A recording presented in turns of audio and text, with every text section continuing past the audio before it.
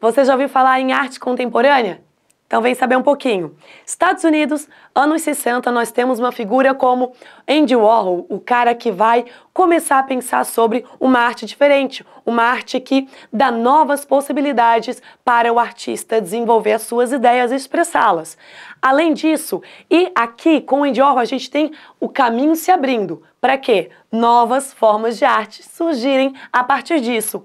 Minimalismo, como o nome já diz, uma coisa mínima.